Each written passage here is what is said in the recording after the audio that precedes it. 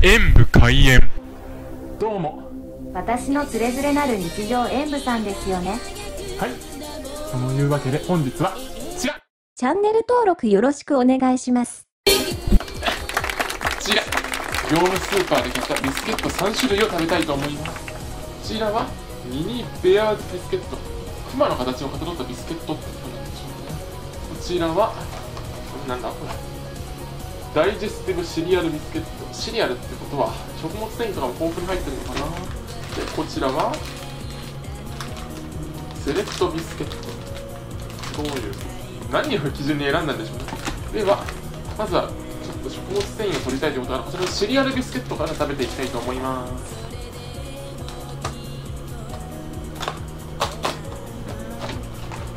どんな感じなのかな。結構思ったより厚みあるな。あれ？よくビスケットにある。袋と袋に入ってるタイプじゃない。やっと出てきました、中身はこんな感じですね。で割ってみると重さに関して意外とサクッとしっとりと割れましたね。ではいただきます。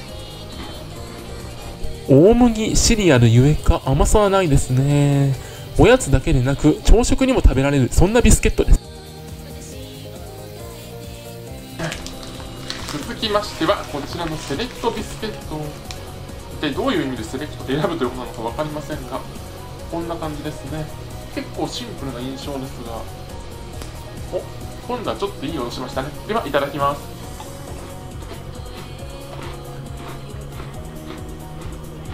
こちらはほんのり甘くてやっぱりおやつにいいですね。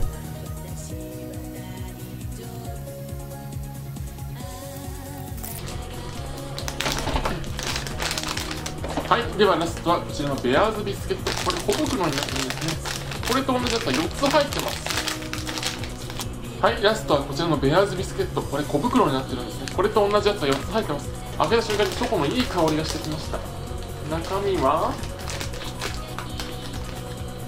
ああちょっと欠けてますけど可愛いくまちゃんのビスケットですね。ではいただきます。おや可愛い見た目に反して意外と濃厚なんですね。これ。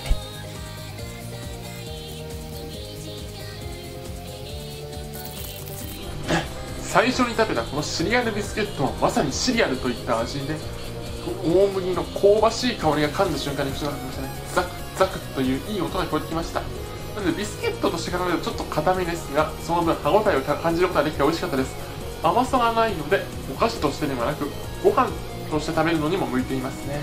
まあシリアルであるとそういう食べ方もあるのでしょう。でこちらのセレクトビスケットは割とシンプルな感じで噛んだ瞬間にほんのりとした甘さが口の中に広がってきてサクサクとしたいい歯応えの音とともに口の中を楽しくしてくれてとっても美味しかったです。これなんか牛乳とか書いてあるんですけど本当牛乳とかと合いそうですね。